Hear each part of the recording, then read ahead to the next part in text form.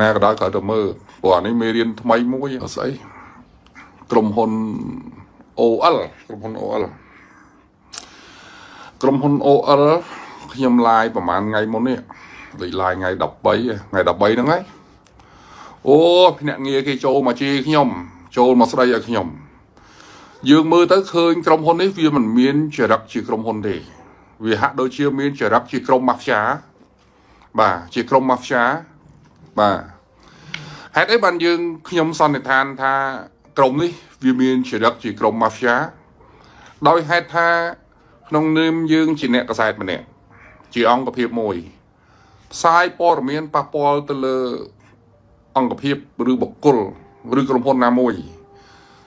ជាច្បាប់សារព័ត៌មាន គឺក្រុមហ៊ុននោះបុគ្គលនោះ ស្ថាប័ននោះ មានសិទ្ធិ បំភ្លឺឲ្យអ្នកសារព័ត៌មាន បានជ្រាបថាណែលយផ្សាយហ្នឹងអត់ត្រូវទេក្រុមហ៊ុនខ្ញុំរកស៊ីចេះ1 2 3 4តែនេះគេអត់ទេគេរុញភ្នាក់ងារគេរាប់រយអ្នកឲ្យមកប្លុក page ខ្ញុំឲ្យ report page ខ្ញុំ ហើយឲ្យជេរប្រមាថខ្ញុំបាទ លៀបពណ៌ខ្ញុំសត្វតែខ្ញុំនឹងធ្វើដើម្បីផលប្រយោជន៍ដើម្បីតោងកលិបអីចង់ចំណេញលាក់លាក់បាទខ្ញុំសូមបញ្ជាក់ជូនថាតាំងកពិតភ្នាក់ងារទាំងអស់នោះគឺសិតតែពួកអវិជ្ជាពួកល្ងងខ្លៅគ្មានការអប់រំគ្មានចំណេះដឹងគ្មានសិលធម៌ហើយបានចេញមកប្រឹងការពារបិទបាំងអំពើរបស់ក្រុមហ៊ុន OL ហ្នឹង ដោយសារតែពួកគេ គឺជាភ្នាក់ងារនិងជាសមាជិករបស់ក្រុមហ៊ុន ដែលទទួលបានកម្រៃជើងសារនៅពេលដែលគេអស់ទាញមនុស្សម្នាក់បាន2នាក់បាន3នាក់បានអញ្ចឹងទៅគេត្រូវបានភាគរយប្រមាណណាឧទាហរណ៍ខ្ញុំម្នាក់ជាសមាជិករបស់ OL ខ្ញុំទៅអស់ទាញមនុស្សបាន4 5នាក់បានលុយប្រមាណឧទាហរណ៍ថា4 5នាក់ហ្នឹងខ្ញុំអោសបាន4 500ដុល្លារម្នាក់100អញ្ចឹងទៅ អញ្ចឹងគេឲ្យកម្រៃជើងសារមកយើងអញ្ចឹងនេះអាពួកបានកម្រៃជើងសារស៊ីឈ្នួលគេនេះបំផ្លាញជាតិឯងបោកប្រាស់ប្រជាជនឯងនេះណាក្រោមរូបភាពវិនិយោគនេះចូលមកជេរខ្ញុំខ្ញុំសូមប្រាប់ខ្ញុំឈរលើ Facebook 11ឆ្នាំហើយខ្ញុំអត់មានឈឺក្បាលរឿងក្រុមហ៊ុនឬក៏ពួកអដេញស្អីគេពួកស៊ីឈ្នួលដើរអដេញអូសទាញប្រជាជននេះ ណាមកជេរខ្ញុំខ្ញុំមិនដែលឈឺក្បាលទេជេរទៅជេរថែមទៅហើយ report មក report page ទៅណា report page ទៅណាគោលដៅធំរបស់ខ្ញុំគ្មានបានប្រយោជន៍មួយកាប់មួយសេនអំពីការផ្សាយពាក់ព័ន្ធនឹងព័ត៌មានអំពីក្រុមហ៊ុន OL នឹងទេគោលដៅធំបំផុតរបស់ខ្ញុំគឺរួមចំណែកផ្ដល់ជាអនុសាសន៍ផ្ដល់ជាមតិឲ្យពលរដ្ឋពិចារណា ពាក់ព័ន្ធនឹងដាក់លុយ20រៀល3ខែក្រោយបាន266ដាក់100ដុល្លារ3ខែក្រោយបានប្រហែល1000ដុល្លារជាងអីចឹងទៅគ្រាន់តែឲ្យគាត់ពិចារណា ប្រយ័ត្នចាញ់បោកគេពីព្រោះរឿងពលរដ្ឋខ្មែរចាញ់បោកគេនេះមានច្រើនរួចទៅហើយចុងក្រោយបានតែទឹកភ្នែកអត់មានបានអីទេហើយពាក្យថាវិនិយោគនេះខ្ញុំបាន ពួកខ្ញុំក៏ជាអ្នកជំនាញមួយដែរមិនមែនធ្វើអីខ្ញុំមិនដឹងទេឥឡូវនេះខ្ញុំបានទទួលព័ត៌មានបន្ថែមបាទថ្ងៃនេះនេះគឺជាអដែងហ្គេមអនឡាញដែលគេលេងបាទគេយកបាល់របស់កូរ៉េយកមកភ្នាល់អានេះគេហៅ Korean K League 1បាទថ្ងៃអាទិត្យទី16ហ្នឹង ម៉ោងប្រកួតម៉ោងអីហ្នឹងអានេះគឺជាលបែងភ្នាល់សុទ្ធសាធមិនមែនជា ការវិនិយោគទេយល់ទេបងប្អូន OL ដែលនាំគ្នាផ្សាយប្រាប់បងប្អូនថាក្រុមហ៊ុនវិនិយោគហ្នឹងហើយដើរធ្វើសកម្មភាពមនុស្សធម៌បិទបាំងហ្នឹងនេះគឺជា game online ណាដែលយើងខ្ញុំទទួលផុសតាងបាន ហើយយើងខ្ញុំសំណូមពរឲ្យសមត្ថកិច្ច ណាជាពិសេសគណៈកម្មការបង្ក្រាបបទល្មើសលបែងដែលរាជរដ្ឋាភិបាលចេញបញ្ជាកន្លងមកថ្មីថ្មីនេះឲ្យធ្វើការស៊ើបអង្កេតស្រាវជ្រាវបុគ្គលទាំងអស់ហ្នឹងជាពិសេសក្រុមហ៊ុន OL ណាមុននេះលបែងភ្នាល់មិនមែនជារឿងវិទ្យុទេហើយដើម្បីចង់ដឹងថាតើភ្នាល់របៀបម៉េចបងប្អូនចាំស្ដាប់ណាខ្ញុំចាក់ឲ្យស្ដាប់ អេឯងគ្រឹះណាមួយតមួយនោះផោងផោងពោះហ្មងធ្វើមិនឲ្យម្ចាស់ទេឲ្យឡើងឲ្យឡើងលឿន4មុនទៅហើយលោកគ្រូនៅតែកន្លះម៉ោងទៀតទៅហើយអីលោកគ្រូភាគរយឈ្នះច្រើនជាងចាញ់ មើលមុខគ្រូនឹងដែរភ័យបើគ្រូភ័យមិនមែនលុយចិត្ត10000ដុល្លារហើយទេចាក់ម្ដងឡានមួយពីមុនកូឡាកាចាឥឡូវចាក់សត្វតាទំនើបចូលឆ្លាមហ្នឹងណាបដៅបដៅហើយតិចទៀតចាក់ស្អីគេចាក់ពួកអាព្រុសហើយថាចាប់ដើមដល់ម៉ឺនហ្នឹង4 5ម៉ឺនប្រហែលចាក់ពួកអាដេញ Reform Ranger 2003ឯអា52000ប្រហែលចាក់ម្ដងអាហ្នឹងមួយឯ ហើយសមាជិកថ្មីឯកងសរុនពួកសមាជិកថ្មីតែពេលចាញ់នៅដល់ចាប់ដល់បុកពោះហើយហ្នឹងហើយលោកគ្រូដឹងតាលោកគ្រូហើយធំតែមួយឆ្នាំទៀតលោកគ្រូចាក់ម្ដង Lamborghini មួយនិយាយទៅបើអូលបើដំណើរការបានតែមួយឆ្នាំបានហើយមិនទៅច្រើនឆ្នាំតែមួយឆ្នាំក៏មានបានគ្រប់គ្នាដែរ ជាជនយើងសមាជិកអូលហ្នឹងហើយបងនិយាយទៅគាត់អត់ធ្លាប់វិនិយោគដល់អញ្ចឹងពេលដែលមានបញ្ហាភ្នាល់ចាញ់ទៅគឺចេះតែគិតច្រើនណាបងទាំងយើងទាំងគេណាហ្នឹងហើយបងនិយាយទៅឲ្យតែបានមួយឆ្នាំគឺម្នាក់ម្នាក់អាចសងធនាគាររួចមានឡានជិះឃើញពាក្យភ្នាល់ចាញ់ឈ្នះអញ្ចឹងវាមិនមែននេះគឺជាការទៅចែកផ្ទៃក្នុងរបស់គេហើយខ្ញុំមានមនុស្សរបស់ខ្ញុំនៅក្នុងហ្នឹង ពួកគេជួអាចនៅណាក៏ខ្ញុំដឹងដែរបាទគេបិទទៅដោយសៀចេញទេតែខ្ញុំនៅតែសៀបាន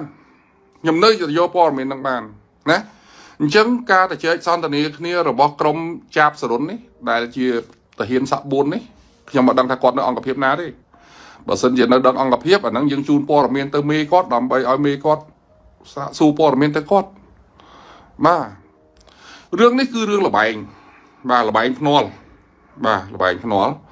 តែឮថាមានអាញាបានអាញាបានបោះហិរញ្ញវត្ថុបាទអញ្ចឹងពួកគេកំពុងតែដើររៃពីប្រជាជនទូទាំងប្រទេសជ្រោកក្រោមរូបភាពវិនិយោគតើវិនិយោគអីបើយើងស្ដាប់មិញនេះទៅជែកគ្នានិយាយតែពីរឿងភ្នាល់គេភ្នាល់បាល់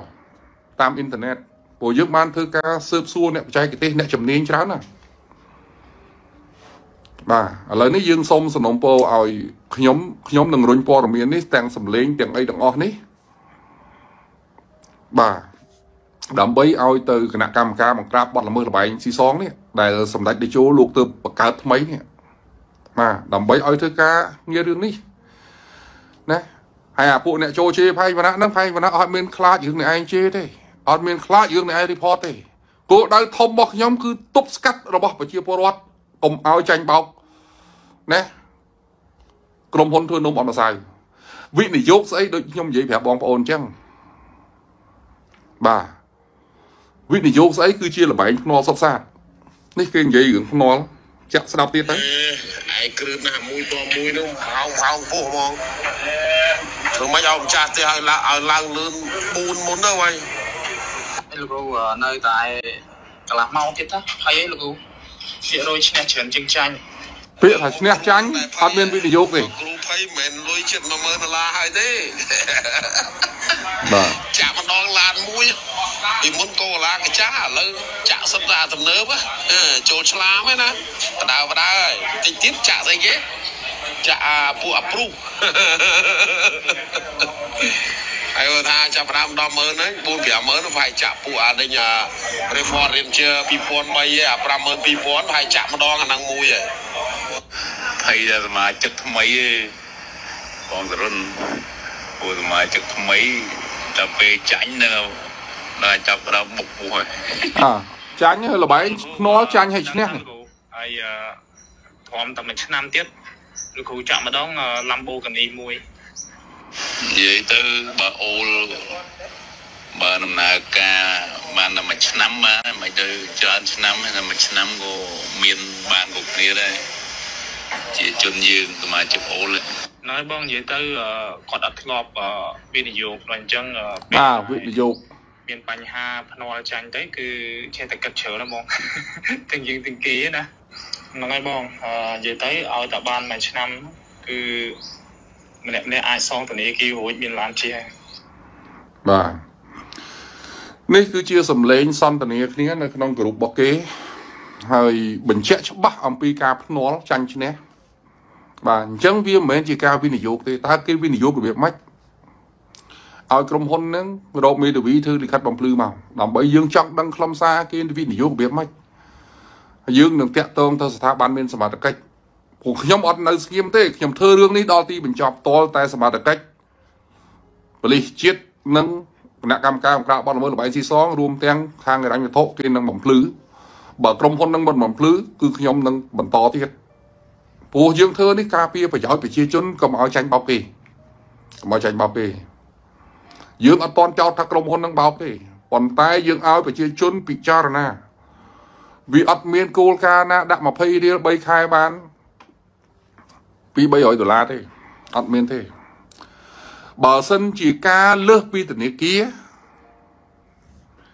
ក៏ខុសច្បាប់ធនាគារជាតិដែរពីព្រោះធនាគារជាតិគេកំណត់អត្រាការប្រាក់ប៉ុណ្ណាប៉ុណ្ណា នៅតាមធនាគារឯកជន គឺគេកំណត់ច្បាស់ណាស់គេអត់មានចេះឲ្យតាមអំពើចិត្តទេ ហើយពួកអ្នកចូលមកតវ៉ាមកខំខមមិនគ្រប់ត្រូល OL ល្អ O ល្អអីនេះគឺសិតតែពួកស៊ីឈ្នួលក្រុមហ៊ុនដែលដើរបោកគ្នាបន្តអូសទាញគេបន្តដើម្បីបានកម្រៃជើងសារអាបាន5រៀល10រៀល20រៀលមកហ្នឹងគឺប្រឹងមកចូលមកខមមិននេះចូលមកក្នុងខមមិនខ្ញុំនេះពីព្រោះនៅក្នុងនេះគឺបងប្អូនយើងបានប្រជុំទៅចែកផ្ញើសារមកខ្ញុំហើយនេះគេបញ្ជាក់ច្បាស់ គេដាក់ថាជំរាបសួរបងបងនិយាយរឿងដាក់លុយ20បាន266នេះខាងសៀមរាបក៏សម្បូរដែរបង ជាពិសេសអ្នករត់ pass up បងគាត់មកបបួលខ្ញុំដែរតែខ្ញុំប្រាប់ថាអត់ចេះហើយគាត់ថាបើអត់ចេះគាត់បង្រៀនខ្ញុំថាអត់ទេខ្ញុំអត់ចេះលេងទេបងនិយាយរឿងដាក់លុយហ្នឹងអ្នកដែលបបួលគេហ្នឹងគឺបបួលបានច្រើនអ្នកគេបានភាគរយកុំមីសុងពីក្រុមហ៊ុនហ្នឹងទៀតផងចឹងហើយបានពួកគេនាំគ្នាចូលមកជីបង ឃើញទេគេរាយការណ៍មកអញ្ចឹងឃើញទេបាទគេរាយការណ៍មកអញ្ចឹងបាទហើយខ្ញុំគ្មានស្អីមកលហេងលហាមស្អីវាយនិយាយព័ត៌មានពាក់ព័ន្ធក្រុមហ៊ុនហ្នឹងខ្ញុំចង់បានប្រយោជន៍អីទេបាទបើស្អីចាប់ភេរុននេះម្នាក់មួយសាក់4នេះឡូឡាឡូឡាលហេងលហាមចឹងងាប់មានបើស្ដាប់សម្ដីមិនហ្នឹងអត់មានស្អីផងណាមានកំមស្រែងស្អីបាទ មានស្អីហើយខ្ញុំនេះតែត្រូវការស្អីអារឿងអស់ចឹងចឹងបើខ្ញុំមានគ្រប់បែបយ៉ាងហើយហ្នឹងបាទហើយមកនិយាយស្អីគេពុកអលួយណាចាប់សរុនឯងទៅហ៊ានទៅហ៊ានអង្គភាពណាដើរលេងលបែងអញ្ចឹងលោកឯងទៅដើររមើលទៅឆែកមើលទៅសុកខ្មែរមានតាណាផែងវណ្ណៈដែលទៅជំរិតតាណាបានមករៀលមានតែយកលុយឲ្យគេបើថាឲ្យយកលុយគេអត់យកទេបាទអត់យកទេ ព្រោះខ្ញុំមានគ្រប់បែបយ៉ាងរួចហើយហើយខ្ញុំផ្ញើសារទៅក្រុមហ៊ុនអូលណាអូអលហ្នឹងថាបើសិនជាខ្ញុំនិយាយប៉ះពាល់ទៅពិតឬមិនពិត គឺលោកឯងដាក់ការបំភ្លឺជាលិលាអសមកមិនមែនរុញពួកអាចអាចែមនឹងឲ្យចូលមកខមមិនអាពួកនេះវាមានការធ្វើខុសត្រូវអីវាបាទ ដូចអញ្ចឹងយើងមើលទៅចរិតក្រុមហ៊ុនម៉ាហ្វីយ៉ាតែម្ដងចរិតម៉ាហ្វីយ៉ាបាទចរិតម៉ាហ្វីយ៉ាដូច្នេះមិនមែនជារឿងធម្មតាទេហើយចង់លេងជាមួយផែងវណ្ណៈផែងវណ្ណៈកំដរដល់ណាក៏បានដែរមិនន័យអីមកព្រឺស្អីជាមួយស្អីទៅហ៊ានលេងលបែងស៊ីសងសាក់4ហ្នឹងស្អីឈ្មោះចាប់សរុនណាណាអត់មានព្រឺមកតាស័យសក់អីសោះហើយ បើខ្ញុំស៊ើបដឹងថានៅអង្គភាពណាទៀតលោកឯងអត់ដូចខ្លួនទេណាណាដឹងនៅអង្គភាពណាទៀតអត់ដូចខ្លួនទេឥឡូវហ្នឹងខ្ញុំកំពុងតែរោមានមានតាំងពីនេះទៀតមានតាំងពីបលិសបលិសនោះដឹងពិតពិតទេសាក់ពិតឬសាក់សេះហោះទេមានបលិសអឺសាក់5ម្នាក់នេះឈ្មោះឈ្មោះស្អីទេ ពួកខ្ញុំបានអេសើប្រវត្តិខ្ញុំខ្ញុំអ្នកស្រាវជ្រាវបាទ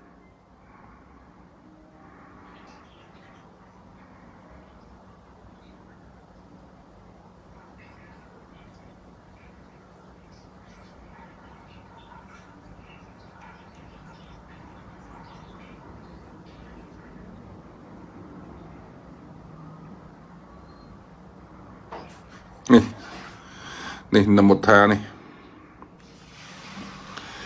នមុថានេះបលិស័ក5ខ្ញុំមកដឹងថាគាត់នៅអង្គភាពណាខ្ញុំពងស៊ើបសួរគេនៅខាងបុគ្គលិកបាទអូខ្ញុំលេងកដោបាទនេះ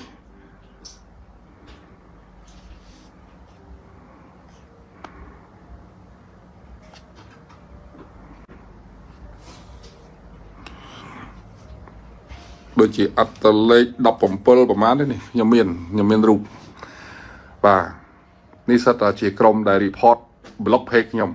ខ្ញុំកំពុងតែស៊ើបអង្គភាពគាត់តែចង់ដឹងអង្គភាពគាត់មួយណាហេតុអីបានពួកគាត់នៅក្នុងក្រុមហ៊ុនលបែងស៊ីសងអស់ហ្នឹងបាទពួកខ្ញុំអត់មានអីមកញើតអីមួយពួកអស់នេះទេបើខ្ញុំដាក់ចិត្តថាជាមនុស្សម្នាក់ ដែលតស៊ូមតិដើម្បីប្រយោជន៍ជាតិប្រយោជន៍ប្រជាជនដើម្បីរួមចំណែកការពារសន្តិភាពការពាររាជរដ្ឋាភិបាលខ្ញុំមិនអោយបុគ្គលខលខូចមកក្តាប់តូចធ្វើអីតាមអំពើចិត្តទេខ្ញុំអត់មានព្រឺសបល់មួយពួកអស់នេះទេ បាទព្រឺសបល់មួយពួកអស់នេះទេបាទចឹងយប់នេះខ្ញុំសូម live ប៉ុណ្ណឹងខ្ញុំបញ្ចប់ការ live ប៉ុណ្ណឹងហើយស្អែកយើងនឹងបន្តទៀត នៅពេលដែលយើងយកព័ត៌មានពីក្នុងការសន្ទនានៅក្នុងក្រុមគេនឹងខ្ញុំអត់មានអីរលាក់ទេព្រោះយើងមានធម្មតាយើងធ្វើការអឺប៉ុនប៉ុណ្ណេះយើងមិនមែនខ្វះបណ្ដាញសម្ងាត់ទេបាទក្រុមហ៊ុនណាយើងមានទាំងអស់ហើយកុំគិតថាអភ័យម្នាក់និយាយប៉ះពាល់ស្អីគេ OL ហ្នឹង LO លេហ្នឹងចង់បានប្រយោជន៍អីកុំថាប្រយោជន៍តែជួបខ្ញុំឲ្យជួបផងសុំតែបំភ្លឺលីលាអសរផ្ញើតាមណាមកក៏បានដែរផ្សាយឲ្យតែជួបខ្ញុំអត់ឲ្យជួបទេ ខ្ញុំអញ្ចឹងខុសគេបាទតិចទៅច្រឡំថាងពួកអ្នកកសែតហ្នឹងវាយចង់បានលុយបោះស្រោមសបុតឲ្យវា2 300 1000 2000អីចឹងទៅអត់ទេណាអត់ទេមើលមុខឲ្យច្បាស់នេះបាទអត់ត្រូវការអីទាំងអស់ត្រូវការតែមួយទេគឺការពារភាពត្រឹមត្រូវការពារប្រយោជន៍ប្រជាពលរដ្ឋពីព្រោះកាលណាប្រជាពលរដ្ឋចាញ់បោកគេអ្នកដែលរងគ្រោះគឺរាជរដ្ឋាភិបាលក៏អត់មានទៅណាក្រៅតែពីលើកផ្លាកសុំមកថ្នាក់ដឹកនាំរាជរដ្ឋាភិបាលជួយទេ គួរឲ្យអ្នកចាញ់បោកគេមកកគោកអីហ្នឹងតាមរូបភាពវិនិយោគលិចវិនិយោគកើតហ្នឹងបាទឥឡូវតំបកើតយើងត្រូវព្យាយាមជួយ share ណាបងប្អូនអ្នកសារព័ត៌មានកាត់សំឡេងកាត់វីដេអូដែលខ្ញុំទើបតែនិយាយពាក់ព័ន្ធនឹងអូលហ្នឹងយកទៅផ្សាយបន្តដើម្បីរំលឹកឲ្យពលរដ្ឋយើងឲ្យពិចារណា ថាតើ20រៀលបាន300 266របៀបណាបាទបាទ ចឹងបងប្អូនយើងចែកម្លែកដើម្បីការពារប្រយោជន៍របស់ប្រជាជនយើងហើយពួកបងប្អូនយើងដែលកំពុងចាញ់បោកគេឲ្យប្រឹងចូលមកខមមិនការពារក្រុមហ៊ុនតាមរយៈការគេឲ្យលុយតិចតួចចាយហ្នឹងឈប់ទៅសំបីតែចាប់ស្អីចាប់ភិរុនមិញនេះដែលល្បីថាមេគេនេះរកតឡានកចាស់ជីមួយគ្មានផងណាឬថាកូរឡាកចាស់អីណាឆ្លាមមកឆ្លោចអីណាណាបាទនៅលខិលខាអញ្ចឹងណា ចឹងទេខ្ញុំកំពុងតែស៊ើបថាតើចង់ដឹងចាប់សរុននៅអង្គភាពណាយោធានៅណា បាទអានឹងមានវិធីឆែកនៅបុគ្គលិកទេបានរកឃើញហើយខាងប៉ូលីសចឹងដែរនេះប៉ូលីសឈ្មោះស្អីនេះបើយើងនេះឈ្មោះស្អីនមុថានេះនមុថាមានអត្តលេខដូចជាអត្តលេខ 19 17 095បាទ17095នឹមវុធាបាទបើយើងឆែកមើលតើគាត់នៅអង្គភាពណាដោយសារតែមានបងប្អូនជាច្រើនមិនបានឃើញវីដេអូថ្មីពេលដែលខ្ញុំផុសចូលទៅក្នុង YouTube ដូច្នេះសូមបងប្អូនចូលក្នុងក្រុម Telegram របស់យើងដើម្បីឃើញនិងទទួលបានវីដេអូថ្មីៗវិធីចូលរួមក្រុមគឺសូមចុច link ខាងក្រោមវីដេអូនេះ